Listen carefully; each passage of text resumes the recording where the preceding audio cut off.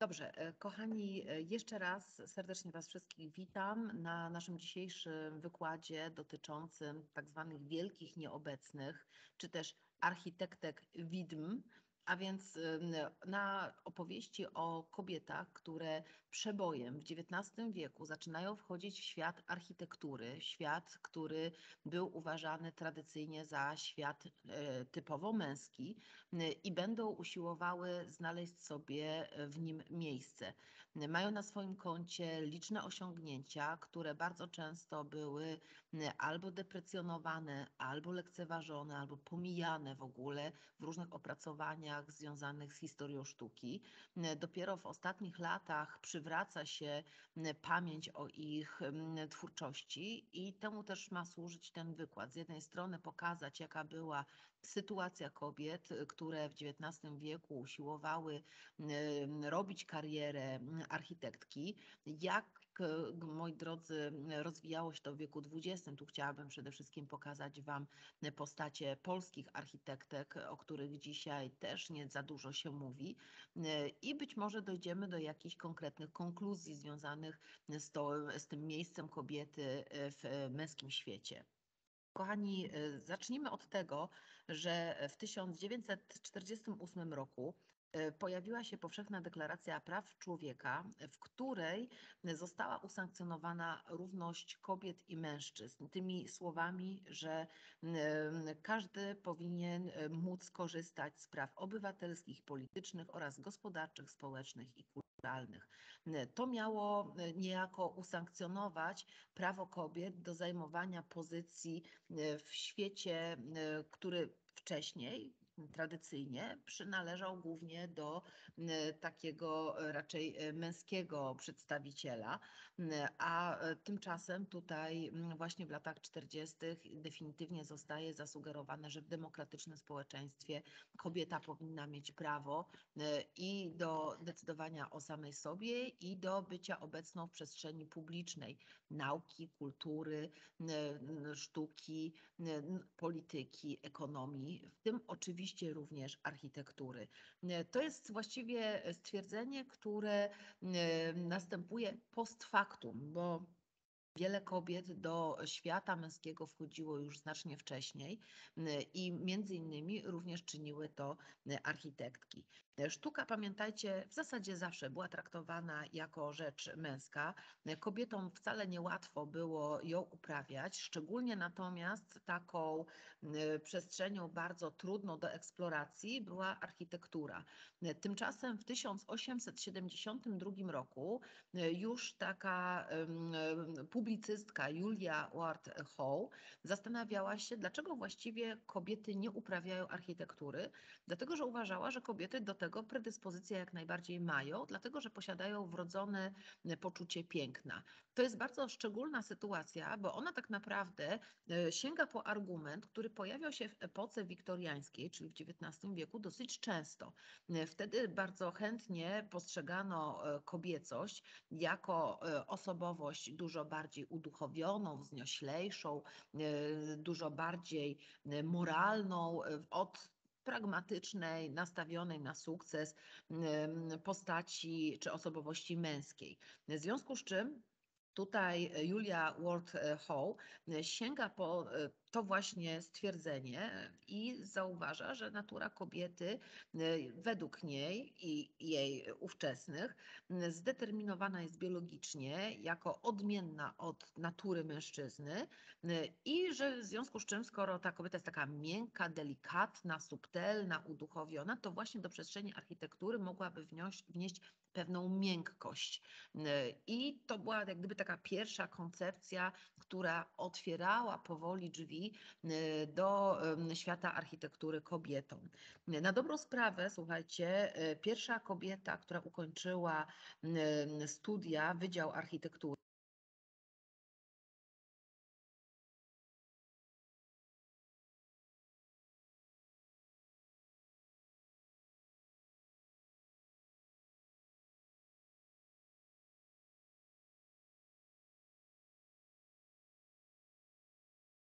Chyba pani się mikrofon wyciszył.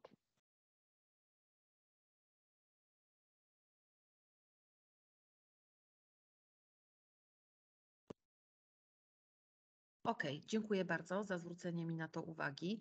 Y, nie wiem, w którym momencie przestałam być słyszalna, ale moi drodzy, e, mam nadzieję, że niedużo Wam umknęło.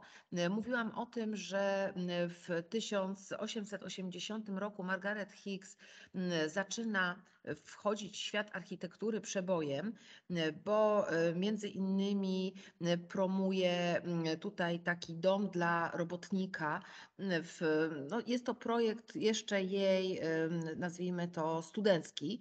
Niemniej jednak prezentuje nam te możliwości, m, które pojawiają się u młodej architektki. Ja przepraszam, jeszcze raz wyjdę z prezentacji, bo chciałabym, żebyście widzieli również podpisy, m, których tutaj w tej chwili przez e, ten sposób zaprezentowania m, nie widać. Nie wiem dlaczego mi się teraz pasek wyświetla.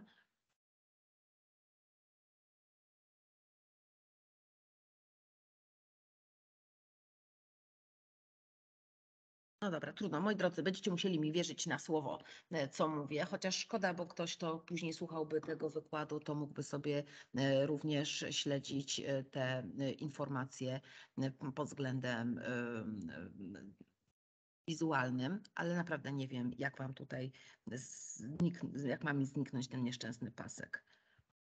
No dobra, trudno. E, Słuchajcie, co tutaj jest takiego istotnego? Mianowicie Margaret Hicks jako pierwsza kobieta ukończyła Wydział Architektury, ale jednocześnie spotkała się od razu z takim męskim protekcjonalizmem. Otóż usłyszała, że owszem, kobieta ma prawo funkcjonować w architekturze, ale pod warunkiem, że będzie projektowała przestrzenie domowe. Bo przecież się na tych przestrzeniach najlepiej zna, w końcu e, e, jest ich użytkowniczką, w związku z czym lepiej rozumie potrzeby domowników, jeśli idzie na przykład o metraż poszczególnych pomieszczeń, rozkład e, przestrzenny i tak dalej. No, sami rozumiecie, że to rzeczywiście czasami tak było, że kobiety miały lepsze rozeznanie, jaki układ pomieszczeń w domu jest dla nich bardziej funkcjonalny, bo spędzały tam więcej czasu, ale żeby od razu z tego wnioskować, że nie nadają się w związku z czym do em, projektowania budowli sakralnych i publicznych, m, bo jako urocze kobietki, nie po, pra, poważne trzpiotki, nadają się tylko i wyłącznie do dekoracji wnętrz prywatnych, bo brak im konsekwencji i jakiejś takiej e, powściągliwości, która pozwoliłaby im się zmierzyć ze zleceniami poważnymi, publicznymi, e, sakralnymi albo świeckimi, no to jest już chyba trochę za daleko idąca e, koncepcja. Były też e, dużo bardziej skrajne e, i absolutnie kuriozalne stwierdzenia. E, Mianowicie na przykład Karl Scheffler, który był bardzo wpływowym takim krytykiem architektury, w 1908 roku opublikował całą rozprawę naukową na temat nierówności płci w obszarze sztuki i wtedy tam generalnie napisał, że kobiety, które zajmują się sztuką, e, stają się z czasem lesbijkami albo zaczynają cierpieć na przerost popędu seksualnego, a to je prowadzi generalnie do prostytucji. Czyli zasadniczo, słuchajcie, wyszło z tego, że kobiety, które się zajmują sztuką, to są jakieś niebezpieczne dewiantki. E, Jakaś e, naprawdę wielka, wielkie ryzyko dla społeczeństwa dopuszczać kobiety do sztuki. No wiecie, trzeba być naprawdę pierwszej wody mizoginem i niedoukiem, żeby głosić takie farmazony, ale one mu uchodziły na sucho. Dwa lata później Otto Bartning e, głosił, że z zawodu architekta należałoby rugować nie tylko kobiety, ale również takich facetów, którzy są zbyt zniewieściali, dlatego że uznał, że te obydwie grupy e, będą e, ulegać w swojej wrodzonej delikatności życzeniom klientów, a życzeniom klientów ulegać nie należy, bo architektura prawdziwa, poważna, potężna, wspaniała rodzi się w walce, protestach i różnego rodzaju nieporozumieniach, konfliktach. Zwróćcie uwagę, że to jest takie budowanie e, super samskiego, e, samczego takiego wizerunku e, architekta. Taki samiec alfa, który żyje konfliktami, który, który walczy, stoi na barykadzie. Co więcej, jest agresywny i oczywiście heteroseksualny. Nie bez powodu tutaj nagle zostali rugowani z tej przestrzeni mężczyźni, którzy byli zbyt zniewieściali. No moi drodzy, trudno się dziwić, że kobiety w takich sytuacjach czuły się dotknięte no bo albo przedstawiono je jako dewiantki, jakieś degeneratki e, seksualne, a w najlepszym przypadku mogły być projektantkami jakichś schowków na miotły. Natomiast, żeby móc e, w przestrzeni publicznej projektować, to naprawdę na to musiały się mocno postarać i walczyć o to. Jedną z takich pierwszych realizacji, którą udało się e, wprowadzić w życie, był budynek na World's Columbian Exposition e, w 1893 roku. To była taka wystawa, która odbywała się w Chicago na 400-lecie e, odkrycia Ameryki przez Kolumba i wystawa miała dotyczyć o różnego rodzaju mm, najnowszych trendów w sztuce, nauce, przemyśle. W efekcie oczywiście trzeba było zbudować pawilony wystawiennicze i tutaj taki pawilon, który widzicie, zaprojektowała Sofia Hayden, jedna z pierwszych kobiet, która została dopuszczona właśnie do wykonywania projektów na potrzeby publiczne. Właśnie te takie budynki targowe, które bardzo często były uważane za nietrwałe. One rzeczywiście dosyć często po targach były rozbierane, były zlecane kobietom, no chociażby właśnie z tego powodu, że jeżeli coś jest nietrwałe, to nawet jakby to sknociła, to i tak później rozbierzemy, nie będzie wstydu. Ten budynek, jak widzicie, na pewno wstydu jej nie przyniósł, niczym się nie różni od innych budynków, które powstawały w XIX wieku w stylu neorenesansowym. Widzimy tutaj dobre wyważenie brył, widzimy tutaj też takie arkadkowe galeryjki, które podcienia, które pozwalają wejść do wnętrza i się w taką, takiej przestrzeni jeszcze na wpół budynek, na wpół już przestrzeń zewnętrzna przed słońcem schować. To, moi drodzy, jest naprawdę dobra architektura. Jak widzicie, można było. Jednocześnie, niewiele później, bo w 1920 roku w takiej wielkiej wystawie Werkbundu uczestniczyła kolejna kolejna mm, e, architektka, mm, która zaproponowała mm, taką, właśnie Sofia Hayden, która zaproponowała pawilon kobiecej sztuki, Haus der Frau, tak to się nazywało, i tutaj ten pawilon widzicie. To jest pawilon, który właściwie jest prekursorski względem całego modernizmu konstruktywnego, który się później w XX wieku e, będzie e, dynamicznie rozwijał. Mamy bardzo proste bryły, które są właściwie czysto potraktowane jako czysta forma, bez jakichś nadmiernych dekoracji, bez ornamentów, płaskie dachy, okna wycięte bezpośrednio w murze, pozbawione jakichś dekoracyjnych obramowań, a za to o dużej powierzchni dostarczające światła do wnętrza. Ta surowość jest jak gdyby, jak już powiedziałam, bardzo nowatorska, to tak gdyby podkreślić sam funkcjonalizm tej budowli. Forma budynku wynika z jego funkcji funkcji, nie ma rzeczy zbędnych. I to, moi drodzy, z jednej strony było niezwykle e, nowatorskie, a z drugiej strony natychmiast się nie spodobało krytykom, którzy uznali, że ta sztuka jest zbyt brutalna, że dlaczego ten pawilon jest tak mało kobiecy, skoro w środku ma być pokazywana sztuka kobiet. No a przecież wiadomo, jak jest baba, to musi być ozdóbka, bo jak nie ma ozdóbek, to kto to będzie wiedział, że to kobiece.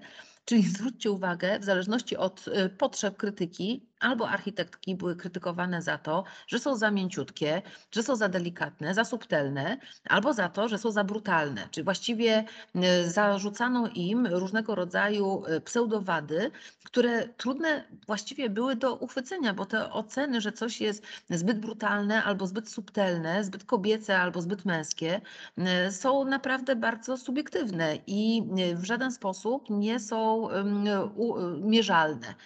Co więcej, pamiętajcie, że w tym samym czasie, jeżeli facet tworzył jakąś architekturę e, i nawet zaliczył jakąś totalną porażkę przy projektowaniu, na przykład pomieszczeń domowych, e, to absolutnie nikt mu nie przypisywał braku talentu, tylko mówiono, że on po prostu nie był zainteresowany tymi rzeczami. No bo cóż, no mężczyzna przecież nie musi się schowkami na miotły interesować, bo on ma wznioślejsze sprawy przed sobą. E, a więc w pewnym sensie, jeżeli architektka e, odnosiła sukces, to niejako pomimo swojej płci. W przypadku mężczyzny argument ment płci praktycznie nigdy nie występował.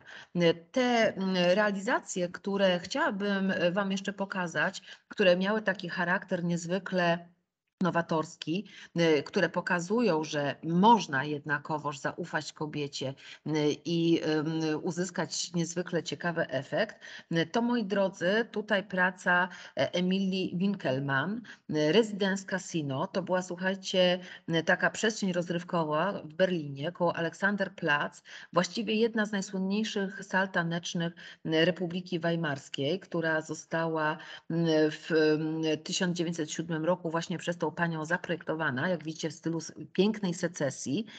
I to, moi drodzy, była jedna z najbardziej znanych przestrzeni rozrywkowych ówczesnego Berlina. Z kolei tutaj Julia Morgan to była taka pani, która jako pierwsza ukończyła architekturę w Paryżu dla niejakiego Williama Randolpha Hearsta, niewielkiego magnata prasowego, zaprojektowała niezwykle luksusową posiadłość, którą tutaj na tym zdjęciu po prawej stronie widzicie. Jeżeli ktoś z Was oglądał taki film Obywatel Kane, to miał okazję tam oglądać i właśnie tego naszego Hersta, oczywiście kreację aktorską i pojawia się tam również aktorka, która która grała Julię e, Morgan.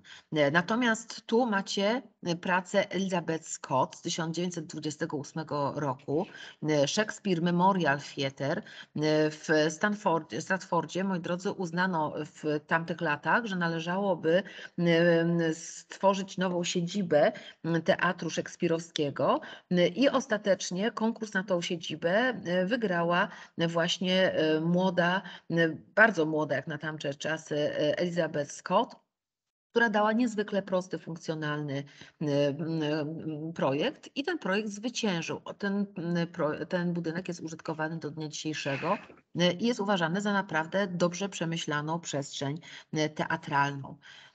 U nas, e, moi drodzy, e, warto jeszcze może wspomnieć, zanim przejdziemy do naszych architektek, przepraszam, o Gret Schutte-Lichocki, która działała we Frankfurcie i która na zlecenie miasta opracowała nowy model kuchni. To miał być, słuchajcie, taki model, który wprowadzono by do taniej architektury socjalnej, czy do takich niewielkich mieszkań i ten pomysł, który ona wygenerowała, właściwie w jakimś stopniu przetrwał do dnia dzisiejszego. Żeby, słuchajcie, zaprojektować kuchnię, która miała niewielkie rozmiary, bo ona miała rozmiary 1,90 m na 3,40 m, czyli przyznacie sami, szału nie było. To nawet nie, właściwie było mniejsze od tradycyjnych kuchni, które się pojawiały niejednokrotnie w późniejszym PRL-u.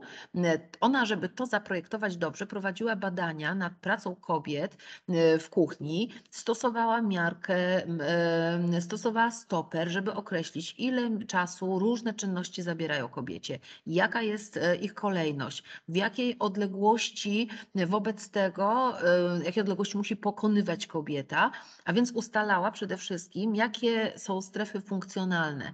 No dzisiaj na przykład takimi funkcjonalnymi strefami mamy zlewozmywak, blat, gdzie przygotowujemy posiłek, kuchenka, na której stoją gary, do których mieszamy, lodówka, z której wyciągamy produkty. I moi drodzy, dobrze pomyślana kuchnia jest pomyślana w taki sposób, żeby z jednego miejsca przechodzić płynnie do drugiego i żeby w pewnym sensie te przestrzenie były właśnie mądrze zagospodarowane, żeby nie trzeba było za dużo się y, nachodzić. Ona się inspirowała przy tych rozwiązaniach przede wszystkim wagonami restauracyjnymi w pociągach i niewielkimi kuchniami, które tam były, żeby uzyskać ostatecznie bardzo przemyślany y, efekt. Ten model kuchni frankfurckiej zakładał, że blat do krojenia warzyw jest przy oknie, żeby był dobrze doświetlony oświetlony, no żeby sobie palca nie uciąć, prawda? Ma tutaj jest, wyposażone jest nie tylko w szafkę, w taboret, ale również słuchajcie, tego może tutaj słabo zasadniczo nie widać, ale był otwór w tym blacie, pod spodem był kosz na śmieci i można było od razu krojąc rzucać obierki na przykład czy jakieś inne odpady właśnie do wymienialnego kosza na śmieci. Obok okna miała swoje miejsce tutaj ją widzicie, deska do prasowania, którą można było składać i rozkładać, żeby nie zajmowała za dużo miejsca.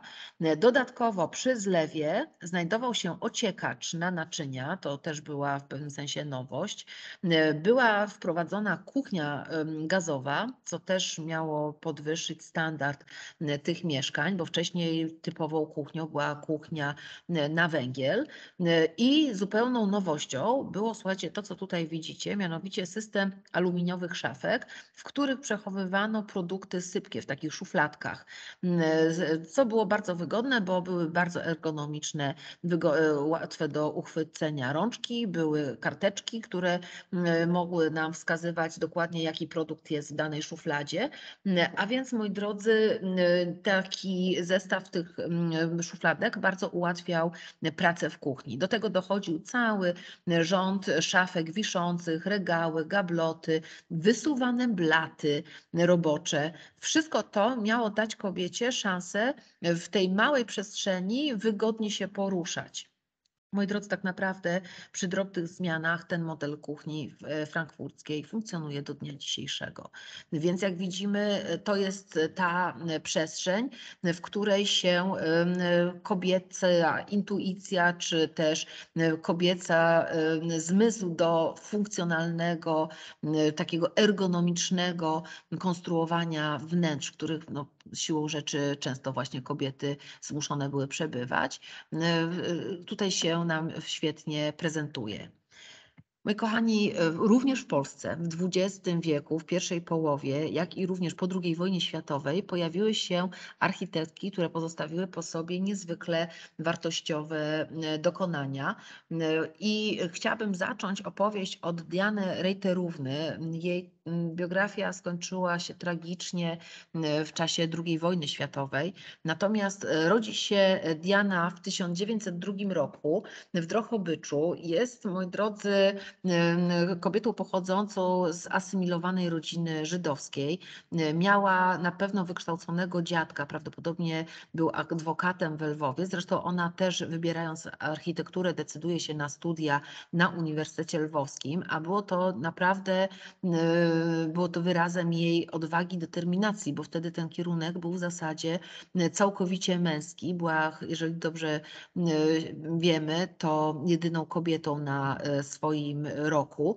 W każdym bądź razie udało jej się skończyć te studia i w 1928 roku zaczęła pracę w dyrekcji robót publicznych Urzędu Wojewódzkiego w Krakowie. To, moi drodzy, był duży urząd, który odpowiadał za szereg inwestycji różnego rodzaju i takich urbanistycznych, i drogowych, i budowlanych, wodociągowych. Ona między innymi pracując w tym urzędzie opiniowała projekty budynków, które miały później zostać wybudowane w Krynicy czy na przykład będzie działać w różnych komitetach zajmujących się właśnie opiniowaniem innych obiektów, które powstawały w Krakowie. Niestety w 1931 roku, czyli mniej więcej 3 lata po tym, jak zaczęła pracować, to biuro zostało zlikwidowane i ona została przeniesiona do e, oddziału budowlanego, z którego też zresztą natychmiast została zwolniona z powodu kryzysu ekonomicznego. Po roku niektórych pracowników przy, e, z powrotem powrotem przyjęto, zatrudniono, ale jej już nie, no bo wiecie, kobieta, Żydówka, to już nie za bardzo ją tam chciano. Tymczasem y, właśnie y, y, jej projekty wydają się być niezwykle ciekawe. Otóż, moi drodzy, jeszcze z czasów pracy w tej dyrekcji robót publicznych ma, pochodzi jej projekt takiej biblioteki, czy gmachu Biblioteki Jagiellońskiej w Krakowie. Ten gmach stoi do dnia dzisiejszego natomiast e, niestety nie według jej projektu, bo wygrał Wacław Krzyżanowski. Ale słuchajcie, Wacław Krzyżanowski o tym, że będzie budowana biblioteka e, nowa dla Uniwersytetu Jagiellońskiego, to wiedział od początku lat 20. i on przez wiele lat przygotowywał ten swój projekt. Ona razem z dwójką kolegi, kolegów, z którymi wystartowała do tego konkursu, e, Zdzisławem Kowalskim i Adamem Moszeni, robili to w bardzo krótkim czasie. Więc fakt, że w ogóle dostali trzecią nagrodę e, i wyżej oceniano ich projekt niż projekt Adolfa Szyszko-Bohusza, ówczesnej gwiazdy architektury, e, to moi drodzy, najlepiej świadczy o tym, że ten projekt był naprawdę wysokiej e, klasy. Tutaj widzimy od strony ulicy Mickiewicza, jak ten budynek miał wyglądać, a więc mamy, moi drodzy, potężny gmach, trzykondygnacyjny, taki z bardzo uproszczone w formie. Trochę widać, że tutaj ta koncepcja modernizmu konstruktywnego, lansującego proste, jasne, czytelne formy, oparte o pewną, pewne łączenie brył stereometrycznych z płaskimi dachami, gładkimi elewacjami pozbawionymi ornamentów, czy to, co było modne na zachodzie, tutaj też się nam objawia z jakimiś takimi tylko akcentami nawiązującymi do renesansu, bo mamy tutaj, zobaczcie, w tej dolnej kondygnacji taki zestaw łuków arkadowych. One tutaj mieszczą nam okna, później przechodzą nam w pergolę z jednej i z drugiej strony, która stanowi taki rodzaj obramienia czy takiego parawanu. To dosyć jest popularne, bo my w Polsce po zakończeniu I wojny światowej, jak szukaliśmy swojego wyrazu architektonicznego, to bardzo często łączyliśmy w nurcie oficjalnym właśnie tą nowoczesną architekturę, która przychodziła do nas z zachodu, czyli modernizm konstruktywny, e, Bauhaus czy inne pomysły na taką architekturę niehistoryczną, e, tylko bardzo nowoczesną, a z drugiej strony nie potrafiliśmy się do końca wyzwolić od tych nawiązań do sztuki e, dawnej, a ponieważ wydawało się, że czasami takiej wielkiej prosperity polskiej był renesans, to chętnie odwoływano się właśnie na przykład do łuków, które, do arkadowania, które miało przywoływać te formy renesansowe finansowe. Mm, oczywiście tutaj trochę inaczej te łuki wyglądają, bo one są mm, o charakterze ostrym, więc moglibyśmy je odnosić bardziej do gotyku nawet, mm, ale widzimy, że to jest taki trochę ukłon stronę architektury dawnej, tradycyjnej. W tym projekcie w zasadzie na skroś nowoczesnym. Niestety nie został on zrealizowany, bo jak powiedziałam, wygrał e, Wacław Krzyżanowski, ale warto pamiętać, że to Diana Rejterówna wygrała trzecią nagrodę. To było naprawdę coś.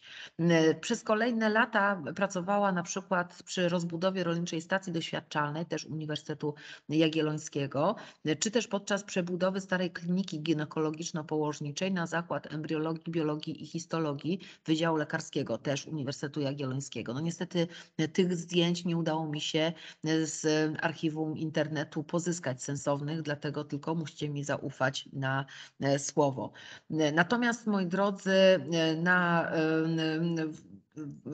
że tak powiem, na swoim koncie miała również restaurację Zamku Królewskiego w Niepołomicach. Oczywiście nie była jedyną osobą, która tam przy nim pracowała, ale warto o tym pamiętać.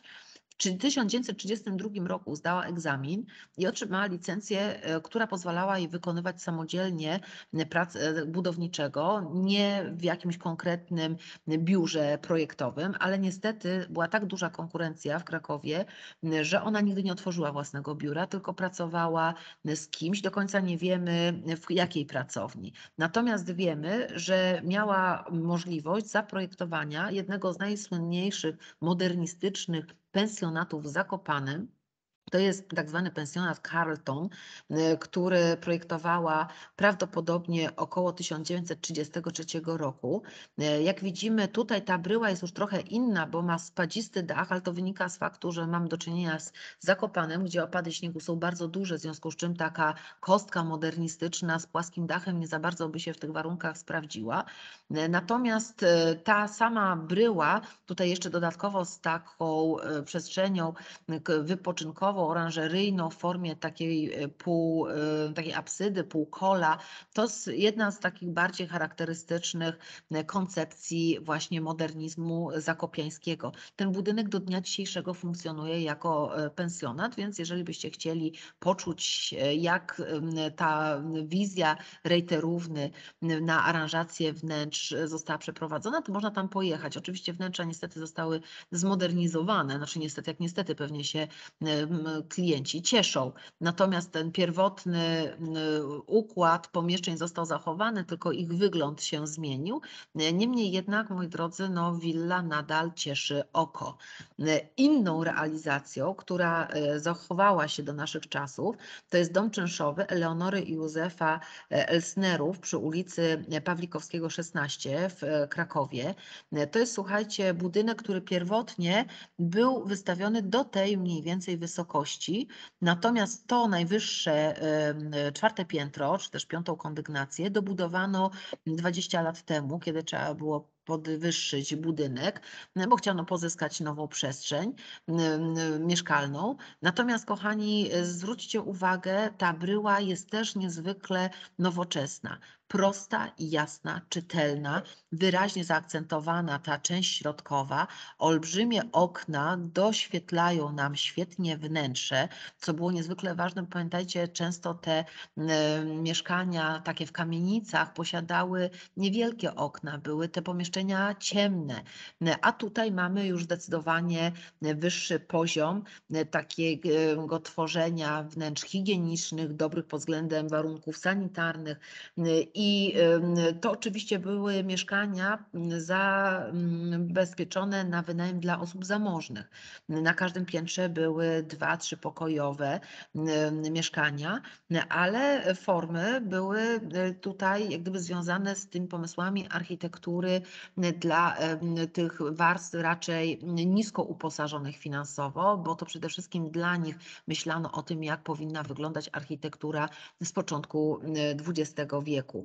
I to właśnie ich potrzeby, czyli zabezpieczenie mieszkań dla tych, którzy nie mogli sobie pozwolić na prestiżowe i niestety bardzo kosztowne mieszkania w kamienicach, to te ich potrzeby lokalowe powodowały wykształcenie się takiego konceptu architektury właśnie modernistycznej, konstruktywnej, gdzie funkcja budynku określa formę, czyli tylko i wyłącznie te elementy, które są potrzebne z punktu widzenia korzystania z budynku, są brane pod uwagę i decydują o tym, jak budynek wygląda, czyli ściany, dach, podłogi, okna, drzwi, ale już nie mamy żadnych dekoracji, żadnych ornamencików. Jedynym elementem, takim ukłonem w stronę pewnej dekoracyjności jest tutaj zaaranżowanie tego parteru, które ma trochę przypominać cokół, przez to, że został obłożony E, sztucznym kamieniem.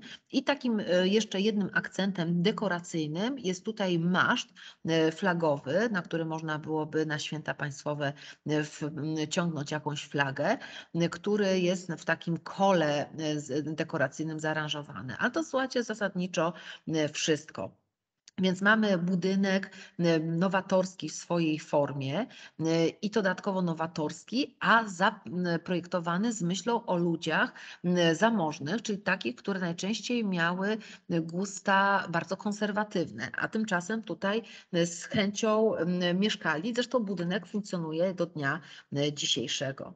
E, moi drodzy, Wróćmy jeszcze do ostatnich dni y, Diany Rejterówny, bo niestety, moi drodzy, jej historia nie kończy się szczęśliwie. Mianowicie z racji tego, że była z pochodzenia Żydówką, y, to y, po pierwsze zostaje w 1938 roku wyrzucona z SARP-u, czyli Stowarzyszenia Architektów Polskich.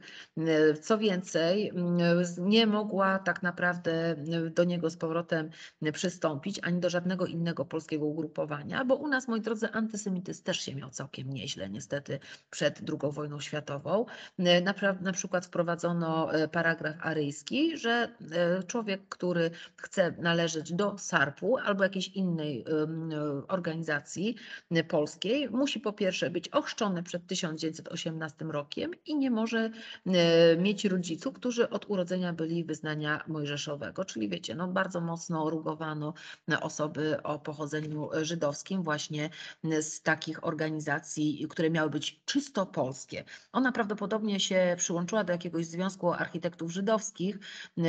Z czasem stała się członkiem zarządu. W 1937 roku jest już skazywana jako właśnie członek zarządu Związku Architektów Żydowskich. Natomiast jej sytuacja komplikuje się bardzo mocno w momencie, kiedy władze okupacyjne Krakowa decydują się o utworzeniu niemieckiej dzielnicy mieszkaniowej, bo Diana się musi wtedy wyprowadzić ze swojego mieszkania. Miała względnie zabezpieczone bezpieczeństwo, bo prywatne biuro projektowe Kazimierza Kulczyńskiego ją zatrudniało, więc miała swoje papiery, ale już w 1941 roku musiała się przenieść do getta. Jak w 13 marca 1943 roku nastąpiła likwidacja getta, to Diana trafiła do obozu I to ona była jedną z głównych architektek, która stawiała baraki w tym właśnie obozie w Płaszowie. I to, moi drodzy, ona właśnie była tą kobietą, którą widzimy na filmie Lista Schindlera, jak zostaje zakatowana przez jednego z e, jednego z gestapowców. Wynikało to z faktu, że e, nie e, dobra, niewłaściwa konstrukcja spowodowała, że zawaliła się ściana jednego z, barok, z baraków. Wynikało to być może z wadliwego rusztowania, być może ze źle wylanych fundamentów. W każdym bądź razie została ukarana w ten sposób, że najpierw ją skatowano, a następnie, jak już jej ciało właściwie przypominało jakiś krwawy strzęp, to e, niejaki Amon God e, skazał wystrzelić w nią serię kul. Była ona właściwie e, symbolem dramatu całego narodu żydowskiego. Natomiast dla nas jest bardzo ważne to, że w zasadzie była pierwszą kobietą w zawodzie architekta w tym przedwojennym Krakowie. Inną postacią, niezwykle ciekawą, była Helena Syrkusowa. Ona, słuchajcie, też pochodziła z hasyckiej rodziny, czyli też była pochodzenia żydowskiego. E, studiowała natomiast na Wydziale Politechniki, na Wydziale Architektury na Politechnice Warszawskiej. To była taka kuźnia modernizmu, bardzo ważna uczelnia, gdzie naprawdę e, właściwie wychodzili stamtąd niezwykle dobrze wykształceni ludzie, którzy promowali później te nowoczesne trendy w architekturze architekturze polskiej. Oczywiście mam tu na myśli te trendy nowoczesne. Ona co prawda nie skończyła tych studiów, rzuciła je w 22 roku i później dyplom dostała dopiero w 1948 roku po wojnie. Tłumaczyła to zresztą później, że po prostu interesowało ją za dużo. Jednocześnie chciała studiować rysunek, literaturę francuską, filozofię. Co więcej, miała na swoim koncie bardzo liczne próby poetyckie i świetnie tłumaczyła na przykład wiersze Anny Achmatowej e, czy Rainera Marii Rilkego e, i dopiero tak naprawdę architektura stała się dla niej istotna, gdy poznała swojego przyszłego męża, Szymona Syrkusa, e, który to w 1925 roku wraca do kraju po takiej długiej podróży po Francji i po Niemczech. On będąc tam na zachodzie poznawał te aktualne trendy w architekturze, między innymi architekturę Bauhausu, architekturę Le Corbusiera we Francji, i przywozi te nowinki do Polski, zaczyna myśleć o tym, że należałoby właśnie w oparciu o te nowości w architekturze e, promować e, wprowadzanie e, architektury funkcjonalnej, minimalistycznej, takiej właśnie modernistycznej w naszym kraju. Ostatecznie, gdy się zwiążą ze sobą, to Helena będzie po pierwsze z nim prowadzić pracownię, po drugie drugie razem z nim będzie się udzielać w grupie Praessence, która e, miała właśnie lansować te nowe koncepcje architektoniczne. I między innymi na łamach takiego czasopisma e, Praessence, właśnie wydawanego przez tą grupę, e, pojawił się tekst Malewicza, Kazimierza Malewicza, znanego artysty, który lansował nurt suprematyzmu w Rosji. Ten tekst był przetłumaczony przetłumaczony przez Helenę na język polski i w momencie, kiedy Malewicz odwiedził w 1926 roku Warszawę, to wyraził swoje zadowolenie z tego tłumaczenia, między innymi w ten sposób, że przekazał jej i jej już ówczesnemu mężowi dwa swoje obrazy. Te obrazy wisiały u nich w domu aż do powstania warszawskiego. Niestety później zaginęły w, tej, w tym dramacie, jaki rozgrywał się w Warszawie.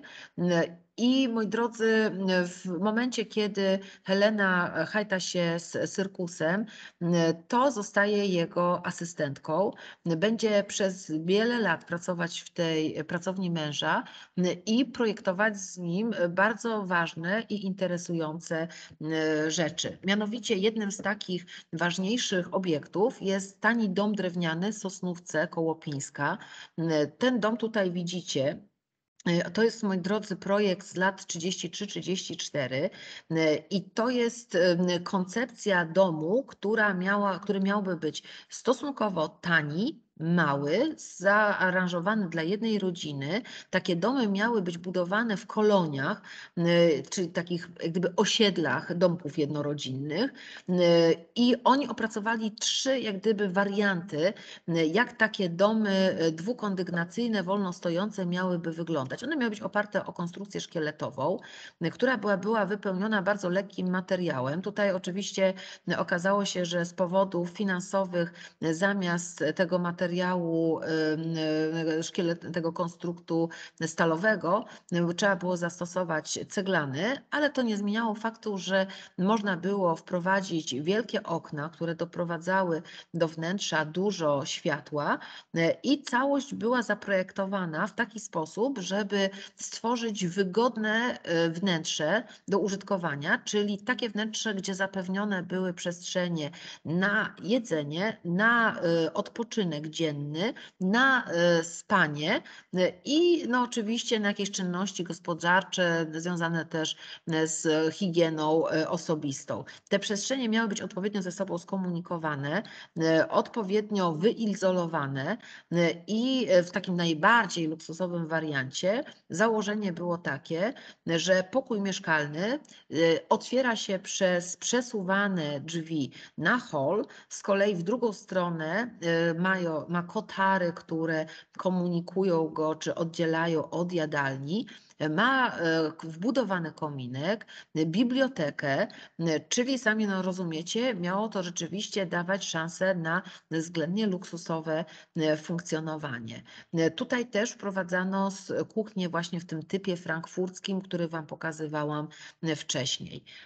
Innych ich domem była willa w Konstancinie dla jednego z lekarzy, który pracował w tym ośrodku, bo tam w Konstancinie powstała w latach 20-30 wielkie sanatorium i jedna z willi właśnie była wykonana dla lekarza, który w tym sanatorium pracował.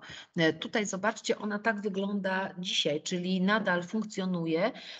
Ten budynek miał konstrukcję już stalową i bardzo ciekawie zakomponowane ściany, dlatego że te ściany, słuchajcie, od strony wewnętrznej były zbudowane z cegły, a od strony zewnętrznej były wykonane z betonu komórkowego i licówki z takiego kamienia, e, który nazywa się e, marmurem pinczowskim. To, to jest to, co tutaj widzicie. E, czyli generalnie z jednej strony żelbet, od, pod, odpowiednio, że tak powiem, obłożony kamieniem, żeby nie było widać tego żelbetu. Z drugiej strony cegła, pomiędzy nimi 2 cm pustki.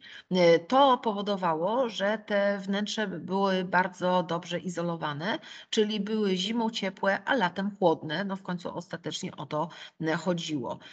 Tutaj jednak najbardziej kluczowym rozwiązaniem była architektura takich takich domów mieszkalnych wielorodzinnych, czy też po prostu, jakbyśmy dzisiaj nazwali, bloków mieszkalnych. Helena i Szymon Syrkusowie jeden z pierwszych takich bloków mieszkalnych stworzyli przy ulicy Walecznych na Saskiej Kępie w Warszawie i widzicie tutaj właśnie tą funkcjonalną, prostą, jasną, czytelną konstrukcję o długich wstęgach okien, które świetnie miały doświetlać wnętrze. Czyli projekt, moi drodzy, na nastawione na to, żeby zapewnić człowiekowi najlepsze warunki e, funkcjonowania. E, I dokładnie w ten sam sposób pomyślana została ich najsłynniejsza realizacja, czyli tak zwane osiedle na Rakowcu. Tutaj jeszcze współczesny widok tego domu mieszkalnego na Saskiej Kępie. E, Natomiast moi drodzy, popatrzcie na te bloki. Ja wiem, że w kontekście naszych blokowisk to one wydają się raczej mikre, ale tu wszystko pomyślane było e, na, w taki sposób, żeby się dobrze w tej przestrzeni mieszkało. Ja bym kazała, słuchajcie, dzisiejszym patodeweloperom, którzy muszą stawiać koniecznie jeden budynek koło drugiego, żeby naćpać maksymalnie dużo tych metrów, które da się sprzedać później, kazałabym odwiedzić ten Rakowiec i zobaczyć, jak to osiedle, które funkcjonuje do dnia dzisiejszego, zostało zaprojektowane przez ludzi, którzy naprawdę mieli na uwadze e, wygodę e, Otóż, moi drodzy, początkowo e, zaplanowano w ogóle to osiedle jako e, przestrzeń dla 300 rodzin robotniczych, bardzo nisko uposażonych. Z tego też powodu na przykład e, nie było tutaj centralnego ogrzewania i ostatecznie instalacji gazowej, tylko tradycyjne piece. To dzisiaj już jest wymienione, ale pierwotnie niestety tak było, bo trzeba było bardzo ograniczać finanse. Natomiast zasadniczo ta bryła taka y, związana z tymi postulatami modernizmu konstruktywnego jest niezwykła dlatego, że oprócz wprowadzenia tych potężnych okien, które znowu nam świetnie doświetlają wnętrza, y, to y, pojawiają się również rozwiązania polegające na tym, że bloki względem siebie są poprzesuwane.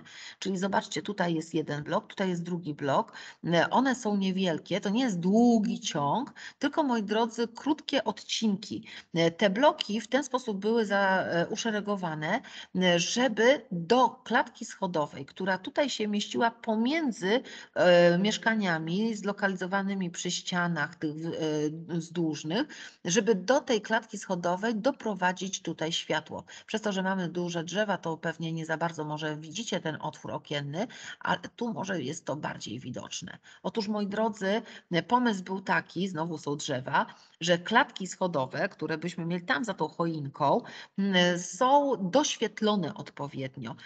Takie, e, taką koncepcję doświetlenia korytarza e, przejęli tak naprawdę z luksusowych e, willi, a nie z takiej konstrukcji właśnie modernistycznej. Natomiast myślano w kategoriach takich, że trzeba zapewnić ludziom wygodne funkcjonowanie w tych wnętrzach. Nie mogą wychodzić z mieszkania na ciemny, długi, ponury korytarz. Czyli moi drodzy, jeżeli byśmy sobie przypomnieli, zwłaszcza ci, którzy mają ze mną architekturę w e, liceum numer 4 na plastyce, że Le Corbusier we Francji e, będzie, moi drodzy, po wojnie tworzyć budynek mieszkalny w Marsylii i popełni ten błąd. Jeden z najsłynniejszych architektów XX wieku, bo nie doświetli korytarza, e, to widzimy, jak bardzo nowatorskie rozwiązanie jest tutaj właśnie E, Heleny Syrkusowej, która myślała w kategoriach takich, że ma zapewnić e, tym e, swoim lokatorom przyszłym maksymalnie wygodne funkcjonowanie. Co więcej, jego, jej pomysł był też taki, że bloki muszą być trzykondygnacyjne, żeby nie trzeba było wchodzić zbyt wysoko, no przecież nie było wtedy wind. Co więcej, mają być rozmieszczone w odległości co 24 metry. Moi drodzy, w tej chwili są bloki, które na Jagodnie są w odległości 10-15 metrów od siebie. No więc sami rozumiecie, że tu jak wejdziemy na to osiedle, to widzimy przestrzeń, widzimy zieleń. Jest gdzie tą zieleń w ogóle tutaj umieścić, a więc y, jak gdyby dużo przyjaźniejsza jest to y, urbanistyka niż to, co ma do nam do zaoferowania y, dzisiejsza architektura, a mówimy, słuchajcie, o przecież realizacji realizacjach, które y, są niemal 90 lat po osiedlu na Rakowcu. To jest 1930 rok, kiedy jest to projektowane. No więc jak widać y, zysk i potrzeba zysku, przepraszam bardzo, ludzka chciwość niestety nie y, idą w parze z dobrą architekturą. Moi kochani, pomysł tutaj na mieszkania był następujący. Każde mieszkanie ma 30, niecałe 3 metry, ma pokój z taką, e, takim aneksem sypialnym, kuchnię z miejscem do mycia oraz toaletę i przedpokój z szafą wnękową. E, To miało, moi drodzy, zapewnić względnie przyzwoite warunki e, życiowe. Też ta konstrukcja tutaj miała być szkieletowa, ale z powodu braku funduszy została zastąpiona tradycyjną e, cegłą. I na całym em, osiedlu takich bloków, słuchajcie, powstało em, siedem, przy czym jeszcze jeden budynek miał pełnić funkcje społeczne. Tam się mieściła pralnia, przedszkole, jakieś biblioteka, sala zebrań. E, Co więcej, osiedle całe pomyślane było w ten sposób, że każdy mieszkaniec otrzymywał agr ziemi, e, ar ziemi, żeby mógł sobie uprawiać warzywa e, i być uniezależnionym niejako od sklepu.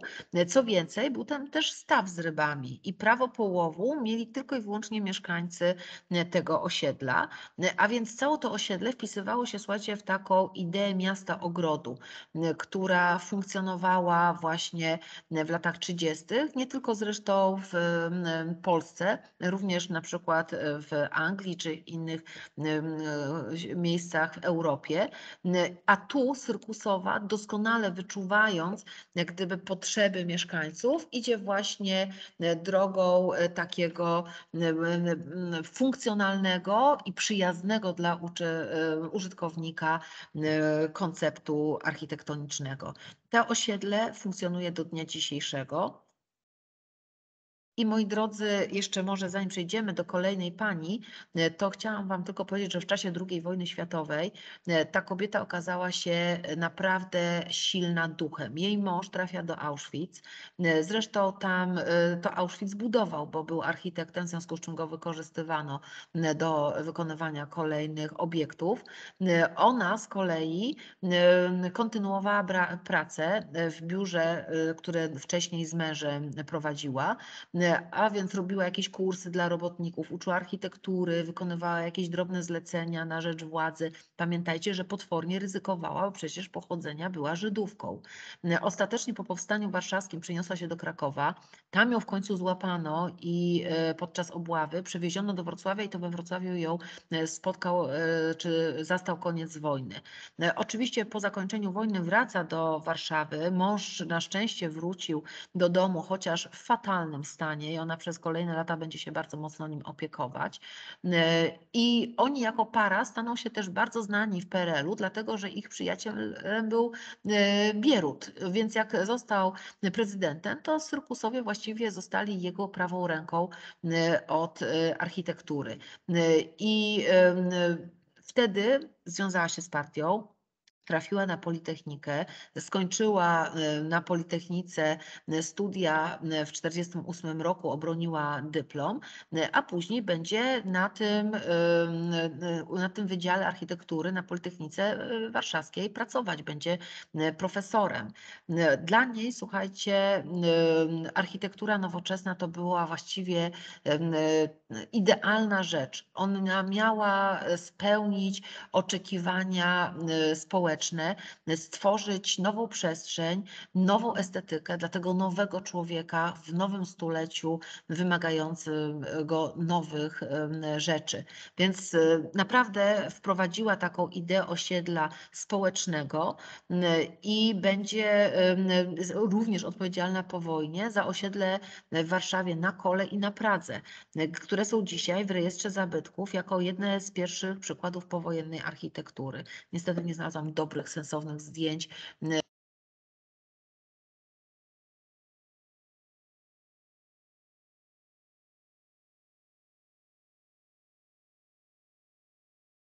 Znowu nie mamy głosu.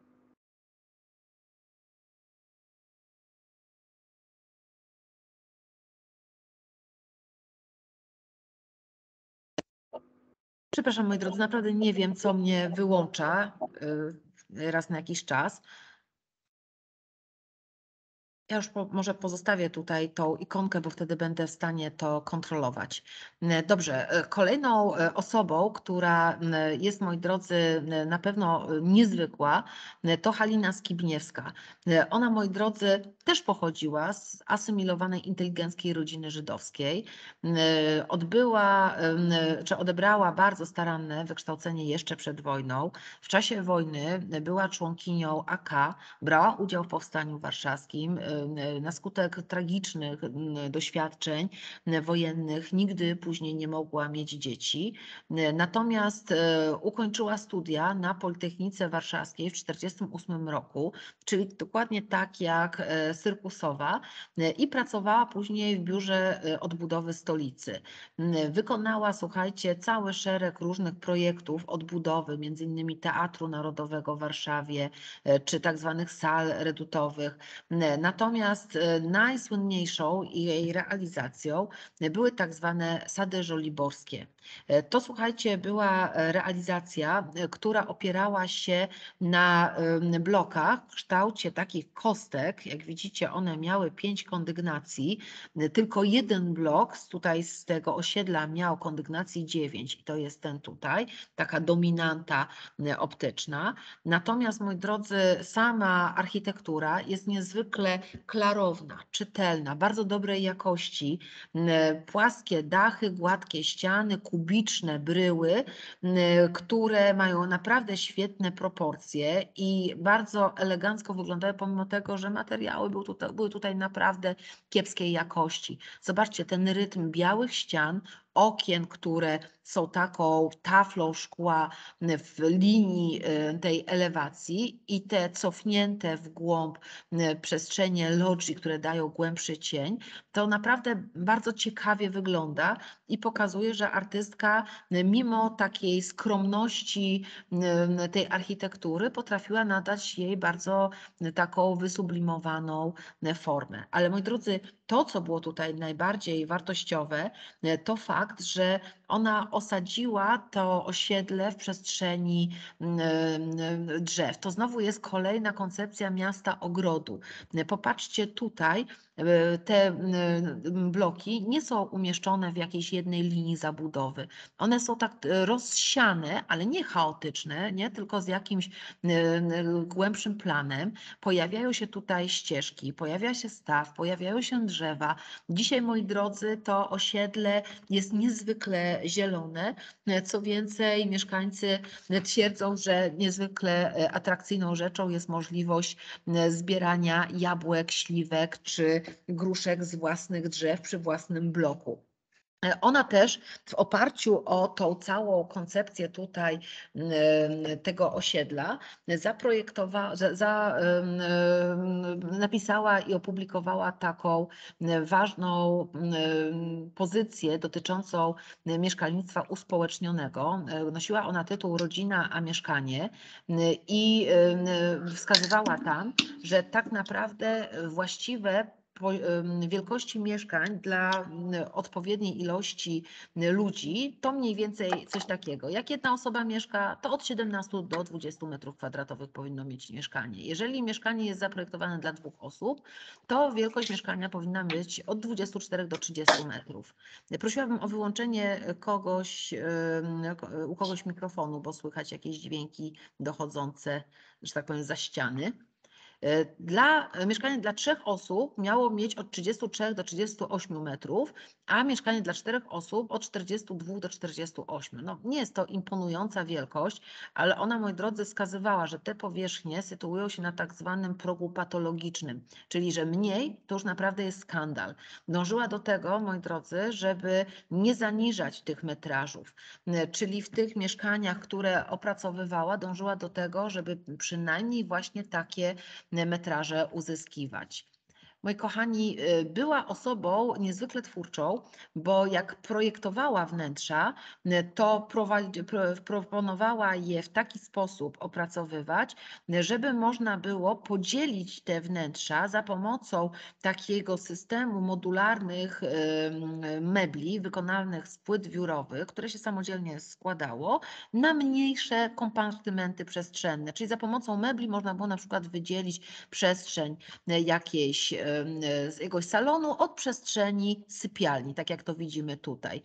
Co jest, moi drodzy, zaskakujące, ten pomysł takich mebli, meblościanek czy mebli modularnych, które były wykonywane z płyt wiórowych, samodzielnie składane przez użytkowników, to wy ten pomysł znacie. Bo to jest, moi drodzy, pomysł przecież IKEA.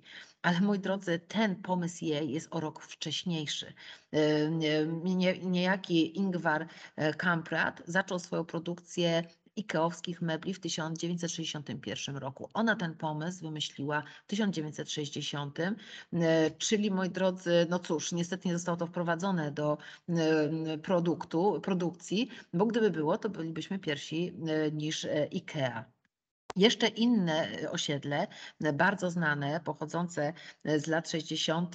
w Warszawie, to jest osiedle szwoleżerów, które, moi drodzy, nie tylko ma bardzo wyrafinowaną taką architekturę bloków, też zobaczcie, tak uskokowo zaprojektowanych, żeby to nie była monotonna bryła, ale jednocześnie w tą architekturę wrzucona jest zieleń. I co ciekawe, w tej zieleni pojawiają się elementy, jakieś na przykład barokowe kwiatony o pięknych reliefach, które są w ogóle wzięte z jakiegoś no, nieznanego nam dzisiaj założenia pałacowego. I pokazują, jak architektka próbuje łączyć e, przeszłość e, z teraźniejszością i no, tworzy całkiem konkretne e, rozwiązania, które są bardzo takie, powiedziałabym, atrakcyjne wizualnie. Natomiast tutaj chciałam Wam pokazać, za co możemy cenić dodatkowo Helenę Skibniewską. Otóż, moi drodzy, Halina Skibniewska myślała o użytkownikach podobnie jak Syrkusowa, dlatego że jako jedna z pierwszych architektek, e, czy w ogóle e, twórców e, architektury w powojennej Polsce, pochyliła się nad problemem osób niepełnosprawnych. To ona wprowadza do architektury mieszkalnej, na przykład wejścia do bloków, które są bezpośrednio z chodnika, bez jakichkolwiek schodów, jak widzicie tutaj. To jest dużo łatwiejsze dla wózków inwalidzkich e, do e, pokonania tej bariery, albo każe wprowadzać, jeżeli są schody, takie rozwiązania, jak tutaj widzicie. To może oczywiście być też wykorzystane do zwożenia wózków e, dziecięcych, ale oznacza to niezwykłą wrażliwość na los drugiego drugiego człowieka, który ma z tej architektury e, korzystać i nie chodzi tylko i wyłącznie o to, żeby go tam wrzucić, niech sobie jakoś radzi, tylko on ma żyć w tym bloku wygodnie, czyli ta godność człowieka jest dla niej bardzo istotna. No moi drodzy, absolutną e, diwą i powiedziałabym gwiazdą architektury, zwłaszcza przedwojennej, była Barbara Brukalska która była też niezwykle twórczą i bardzo ciekawą osobowością. Ona w ogóle zaczęła od studia, studiowania rolnictwa i ogrodnictwa. Szybko zmieniła ten kierunek na architekturę i skończyła też właśnie architekturę e, na Politechnice Warszawskiej. Natomiast właśnie tam poznała Stanisława Brukalskiego, z którym się hajtnęła i z którym od 1925 tworzyła tandem, taki architektoniczny. Jedną z najsłynniejszych realizacji był ich dom własny z lat 1927-28. Oni za ten projekt tego domu dostali, słuchajcie, później na wystawie w Paryżu w 1937 roku brązowy medal, bo doceniono e, właśnie taką nowatorskość, modernistyczny kunszt, świetnie zaprojektowane wnętrze, gdzie mamy antresole, czyli takie nowe rozwiązanie, które wchodzi do architektury z Le Corbusierem i jest tutaj też wprowadzone. Przestrzenie są, e, czy wnętrze jest takie bardzo przestronne, otwarte. E, co więcej, e, mamy tutaj, zobaczcie, zaprojektowaną przez Barbarę Brukalską własną kuchnię. To jest taka gdyby mm, wariacja na tle, na punkcie kuchni, e, inspirowana tymi pomysłami kuchni frankfurckiej. E, Jest, moi drodzy, uważana za e, też twórczynię jednego z najwybitniejszych osiedli mieszkaniowych. W tym wypadku jest to Żoliborz, już nie sady żoliborskie, tylko Żoliborz. Była to, było to osiedle, które zaczęli z mężem budować w 1900 już 25 roku, ale wojna to przerwała i wracają w latach 40. do tej realizacji już po II wojnie światowej.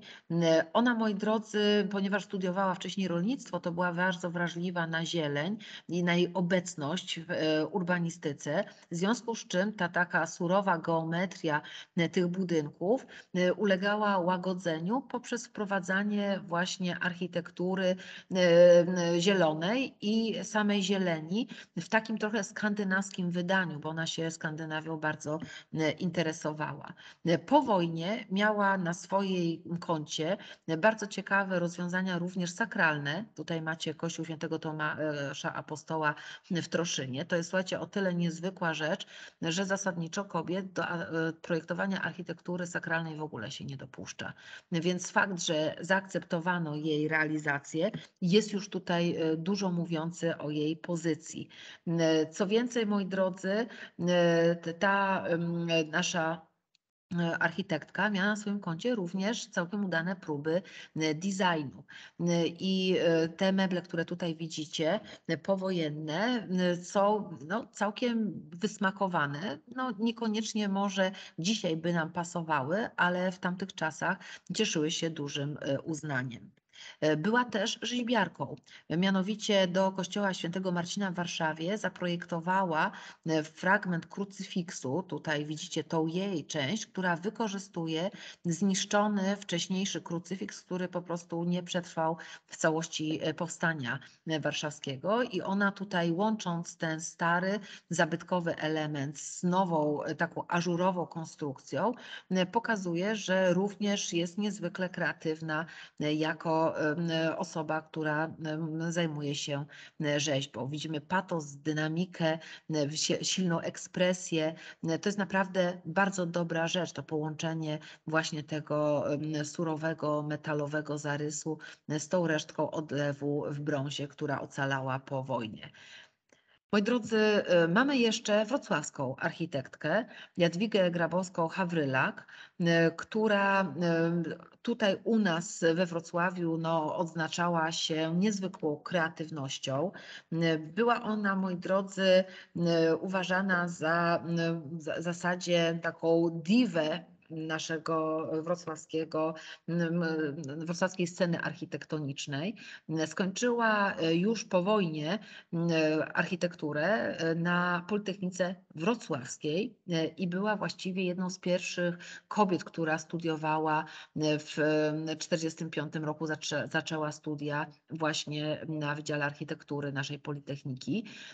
Zaczyna wchodzić w świat architektury po studiach, wtedy kiedy w Polsce powoli kończy się e, socrealizm, czyli takie rygory narzucane przez partie odgórnie na artystów, w tym też architektów, trochę zaczynają zanikać, w związku z czym ona może sobie pozwolić na wprowadzanie tych zasad takich modernistycznych zachodnich, inspirowanych Bauhausem czy modernizmem konstruktywnym Le Corbusiera.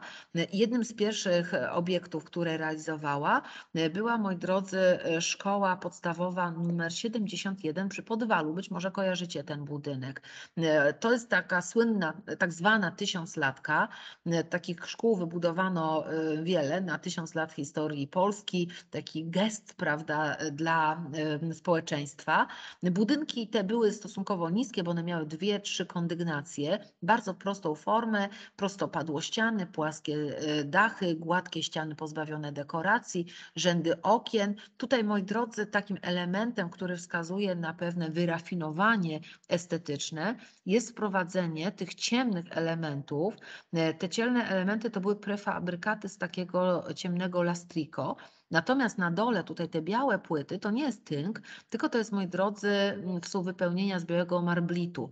E, To były takie dekoracyjne szklane płyty, które pochodziły z huty w Wałbrzychu i które były wykorzystywane właśnie do dekoracji e, m, różnych obiektów, które powstawały m, po II wojnie światowej e, w Wrocławiu. Inny słynny budynek, który na pewno kojarzycie, to jest słuchajcie galeriowiec przy ulicy Kołątaja. On był zaprojektowany w ten sposób, że miał przeszklony parter tutaj i na tym parterze znajdowały się lokale usługowe, natomiast na piętrach kolejnych znajdowały się dwukondygnacyjne mieszkania. I e, pomyślane były one w ten sposób, że na poziomie wejścia do mieszkania w każdym lokalu znajdował się pokój dzienny, który był wyposażony w taras, e, następnie aneks kuchenny i jadalnia, a na tym piętrze wyższym była łazienka e, z ustępem i dwoma sypialniami i takim malutkim balkonem. Tak? Tutaj jest ten wielki taras, tutaj jest ten malutki e, balkonik. E, Inny projekt, to jest niestety dzisiaj no, wygląda dosyć smutno, ale myślę, że wystarczyłoby to e, otynkować ponownie na biało e, i naprawdę cieszyłoby oko. E, Natomiast moi drodzy, inny budynek, który też być może kojarzycie, to jest Dom Naukowca na Placu Grunwaldzkim. Taka super nowoczesna mieszkaniówka. Tutaj były, słuchajcie, rozwiązania takie naprawdę imponujące, wbudowane meble, przesuwane drzwi, takie, które się chowały w ścianach, sypy na śmieci, no po prostu rewelacja. E, I na dole też były lokale usługowe, widać je tutaj, e, prawda? Natomiast na górze, zobaczcie, mamy taką ciekawą w tą elewację, bo pojawia się taki rytm naprzemienny okien, balkonów i płaskich ścian. Naprawdę dobra rzecz. Natomiast na pewno dla Was i dla większości wrocławian, jeżeli e, kiedykolwiek będziecie z czymkolwiek kojarzyć Jadwigę Grabowską-Hawrylak, to oczywiście z tak zwanym wrocławskim Manhattanem. No, nie jest to może em, prawdziwy Manhattan. Niektórzy złośliwi nazywają te bloki sedesowcami ze względu na taki dosyć specyficzny kształt tych przesłon, które m, tutaj się pojawiają. Według e, Jadwigi Grabowskiej-Hawrylak te takie b- półkoliste formy miały się odnosić do architektury Antonia Gaudiego, którego omawialiśmy sobie we wrześniu, Mm, czyli to była taka jej próba wprowadzenia bardzo ekspresyjnej e, koncepcji e, budynku, czy aranżacji bryły budynku. Pamiętajcie, w momencie, kiedy ona to projektuje, na świecie bardzo modny jest już ekspresjonizm w architekturze, czyli takie projektowanie budynku, które odchodzi od tych jasnych, czytelnych form modernistycznych m, i idzie w stronę fantazji, niezwykłości, zindywidualizowania, takich realizacji, które mają wyrażać silne emocje albo wzbudzać silne emocje. No więc ta architektura niewątpliwie jest bardzo w tym klimacie dobrze osadzona. No, niestety nie jest zbyt ten budynek wygodny do mieszkania. Te mieszkania są ciasne, słabo doświetlone. Tutaj zwróćcie uwagę, te przesłony niestety e, nie dały dobrego efektu, bo e, okna są pod kątem ustawione względem e, tych przesłon i niestety powoduje to, że bardzo mało światła wpada do wnętrza. Więc taki średnio udany eksperyment. Poza tym, moi drodzy, na dachu miały być e, tutaj mm, e, zielone tarasy, pomieszczenia wspólne. Natomiast niestety bardzo szybko to miejsce zaczęło być przejmowane przez e, różnych e, podejrzanych e, typów, którzy sobie organizowali tutaj zakrapiane imprezy. Różne ekscesy były, że tak powiem, odnotowane, które były absolutnie nieznośne dla mieszkańców. No i ostatecznie te wejście na dach tam w pewnym momencie zostało zamknięte. Tych poprzednich realizacjach, które tutaj się pojawiały, czy, przepraszam bardzo, czyli moi drodzy, w tym budynku, między innymi na Kołątaja, też był taki pomysł, żeby właśnie na bloka, na e, górze był e, taras, żeby się pojawiły tam e, przestrzenie takie wspólne. E, No ale to niestety się nie sprawdziło. Tutaj się nie sprawdziło, dlatego że źle zaprojektowano e, to, ten dach i był on mało stabilny, e, żeby tam robić jakieś imprezownie. Natomiast e, tutaj ostatecznie zamiast wprowadzić ten taras dla mieszkańców, to postanowiono wprowadzić kolejne piętro e, mieszkalne, czyli jak gdyby te jej do, skąd inąd ciekawe pomysły, inspirowane też Le Corbusierem i jego blokiem mieszkalnym w Marsylii, tutaj zostały niezrealizowane. Moi drodzy, dzisiaj te wieżowce przy Placu Grunwaldzkim wyglądają całkiem nieźle, bo zostały otynkowane, pomalowane na biało, w związku z czym mogą zachwycać. W momencie, kiedy niestety zaczną znowu przypominać e, to, co widzieliśmy parę lat temu, no to cóż, będą takimi pomnikami e, prawie że brutalnego stylu w architekturze, ale to jest ten dramat betonu, który się fatalnie starzeje e, i jeżeli nie jest na nowo pokrywany tynkiem, to niestety raczej straszy niż zachwyca. Chciałam Wam jeszcze pokazać e, tutaj e, dwie postacie, mianowicie Zofia Garlińska-Hansenowa. To jest żona Oskara Hansena, czy była, bo już nie żyje, która, moi drodzy, prowadziła z nim biuro architektoniczne. Miała olbrzymi wpływ na jego e, twórczość. E, Sama e, projektowała e, bloki mieszkalne, e, stworzyła koncepcję rezygnacji w wielkich, nowoczesnych miastach z takiego tradycyjnego podziału na centrum i przedmieścia, bo uznała, że współczesne miasta tak się dynamicznie rozwijają, że za chwilę z tych przedmieści to trzeba będzie jechać bardzo długo do centrum, więc ona zaproponowała, że budować należy aglomerację w układzie południkowym, czyli na zasadzie mamy strefę mieszkaniową, strefę e, taką funkcjonalną, e, biznes e, czy prawda, praca i znowu przestrzeń mieszkalna i znowu ta przestrzeń usługowa, żeby w ten sposób każdy miał stosunkowo blisko do tego swojego miejsca pracy, czy do tej przestrzeni, która miałaby zapewniać w, zabezpieczenie różnych potrzeb życiowych.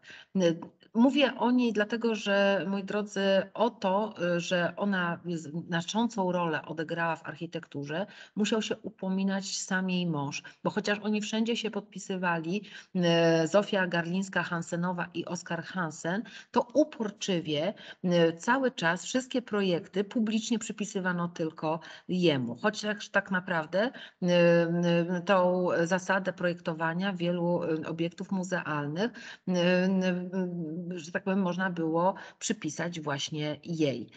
Niemniej jednak no, cały czas musiała walczyć o uznanie, albo robił to jej mąż w jej imieniu.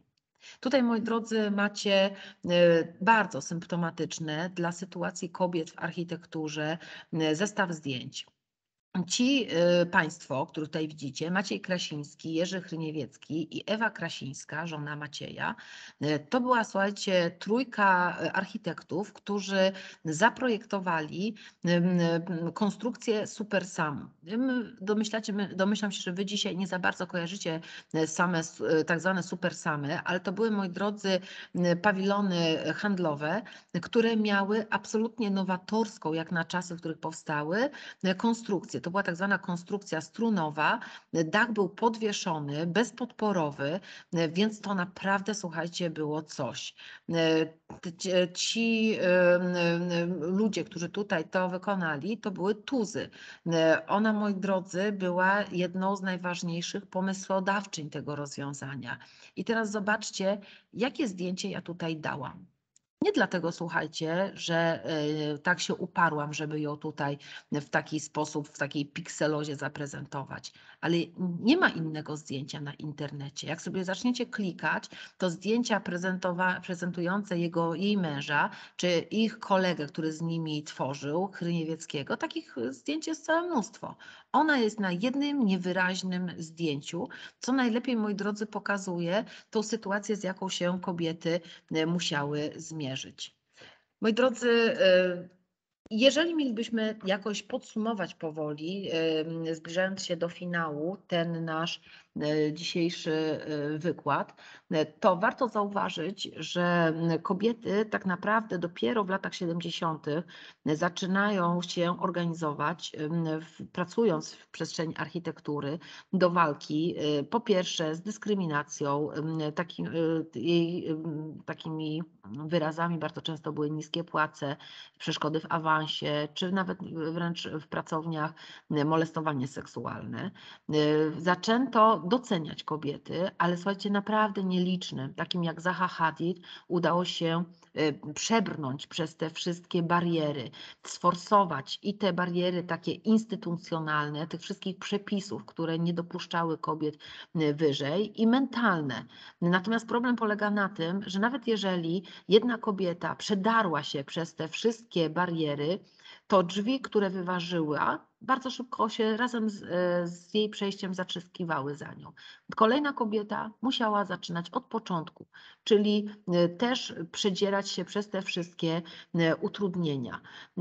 Zwróćcie uwagę, bo to jest niezwykle e, też em, charakterystyczne. Na studiach architektonicznych kobiet jest zdecydowanie więcej niż e, facetów, ale rzadko kiedy wchodzą na stałe do zawodu architektek.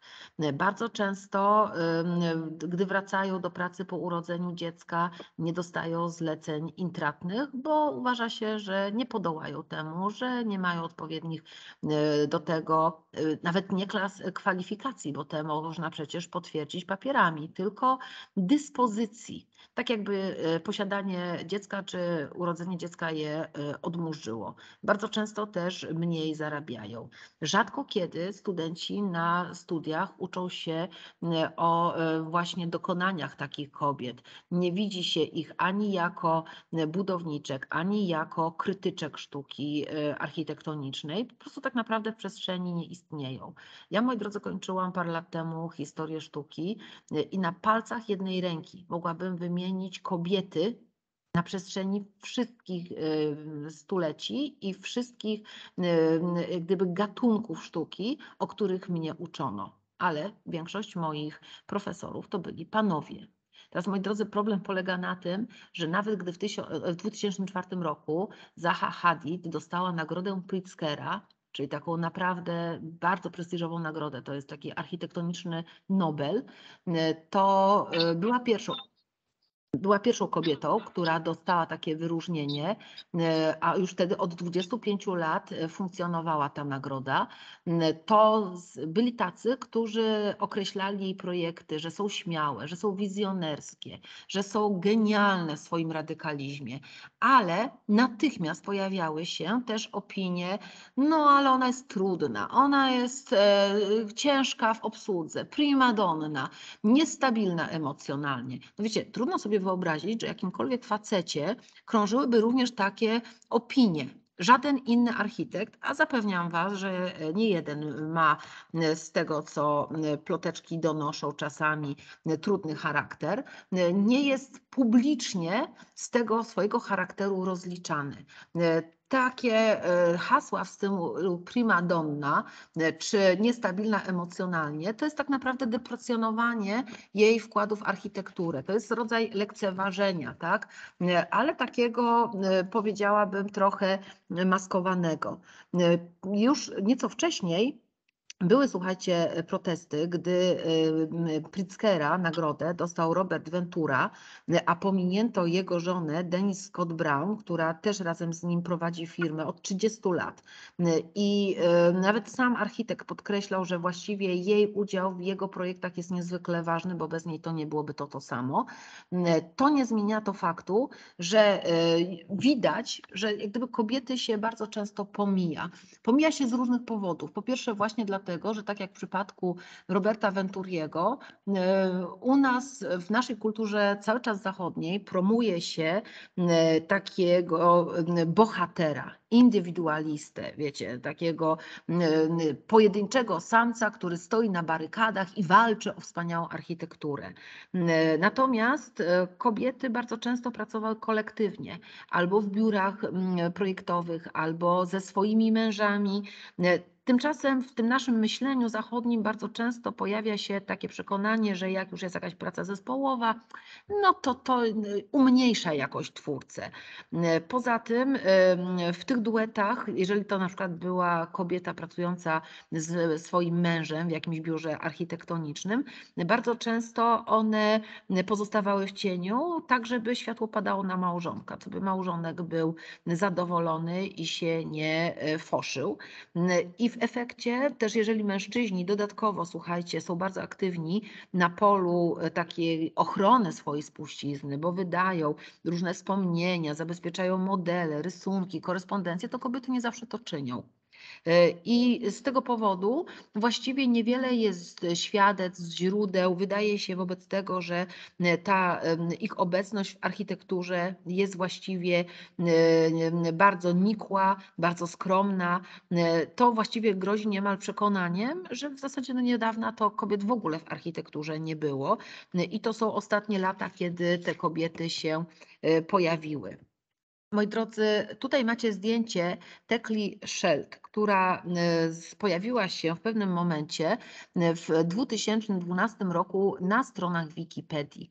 E, I to był całkiem głośny skandal w przestrzeni właśnie takiej historyczno-sztucznej, dlatego że Sue Gardner, która była wtedy dyrektorką zarządzającą Fundacją Wikimedia, zauważyła, że bardzo specyficznie działa ten portal. Wy korzystacie z tego portalu, ale moi drodzy, miejcie tego świadomość, że on nie jest obiektywny.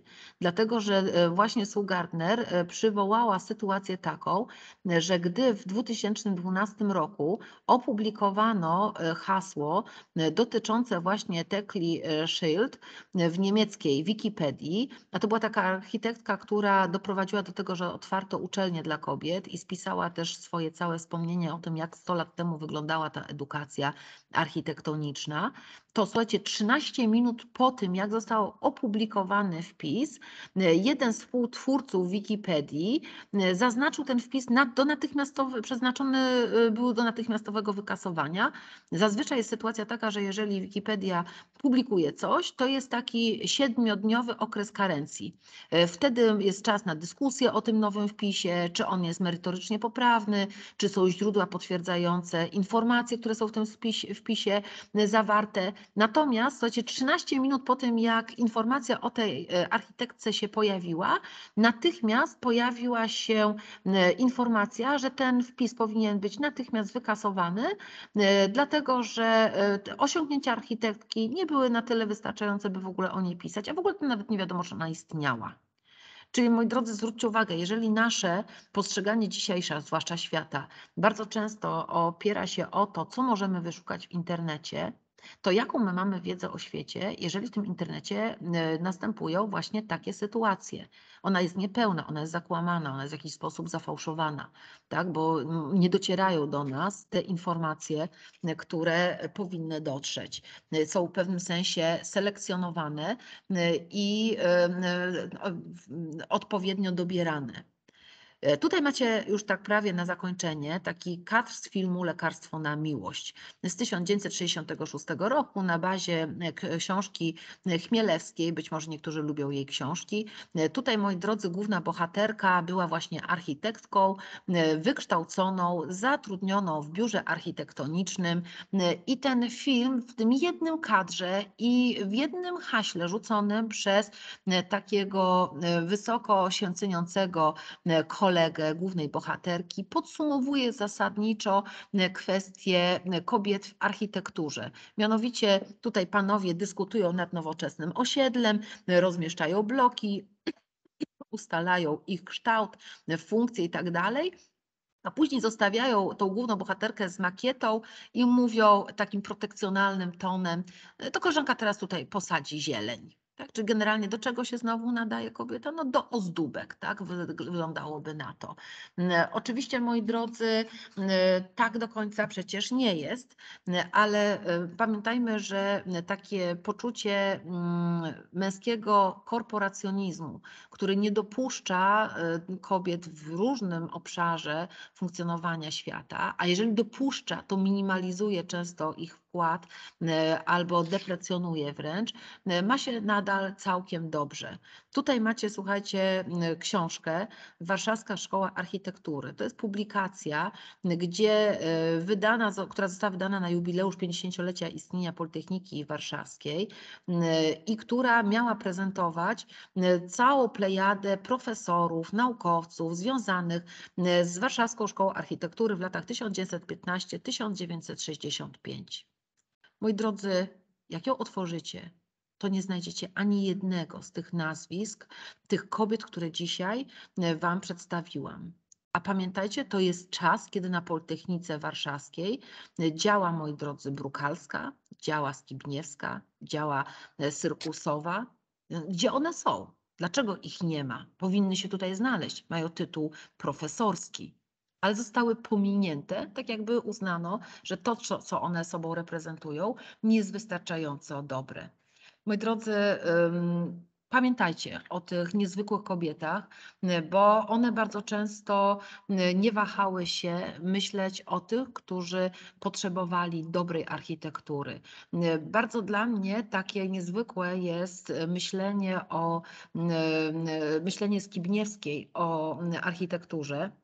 Dlatego, że moi drodzy, ona po wojnie e, związała się e, z m, partią, związała się z e, władzą. E, Bardzo ją później za to krytykowano. Pełniła nawet funkcję wicemarszałka Sejmu e, i wykorzystywała to swoje stanowisko, by pomagać innym. E, To były lata 1971-85. Ona, moi drodzy, y, mówiła coś takiego, że ludzie niepełnosprawni mają tylko jedno życie. I ona nie może czekać na to, aż się zmieni władza, żeby ona wtedy mogła działać na ich rzecz, nie zyskując łatki współpracownika systemu monopartyjnego i sługusa władzy. Moi drodzy, dla mnie to jest bardzo takie e, znaczące, bo to pokazuje, że to, co oni, co inni o niej myśleli, było dla niej najmniej istotne. Dla niej istotne było to, że może pomagać i stara się to czynić. I chyba właściwie, moi drodzy, to jest to, za co powinniśmy przede wszystkim y, zapamiętać te kobiety, za ich determinację, za ich siłę, za ich wkład w polską architekturę. Nawet jeżeli współcześni nie chcą ich doceniać, nawet jeżeli dzisiaj dyskurs historii sztuki nadal obliczony jest tak, żeby tworzyć iluzję, że sztukę tworzą głównie faceci, a jeżeli kobiety ją tworzą, to nie jest to najwyższych lotów sztuka, więc nie warto o niej mówić, to my musimy wiedzieć swoje. Mam nadzieję, że ten wykład w jakimś sposób pomoże Wam właśnie z tą sytuacją się e, zmierzyć. Moi drodzy, y, mam nadzieję, że dzisiejszy wykład nie był dla Was zbyt nudny, zbyt długi, y, że czegoś ciekawego się dowiedzieliście. Natomiast, moi drodzy, ja na chwilę obecną powoli będę się z Wami żegnać. Y, Już, moi kochani, tutaj wyłączam nagrywanie. Czy ktoś ma jakieś pytanie?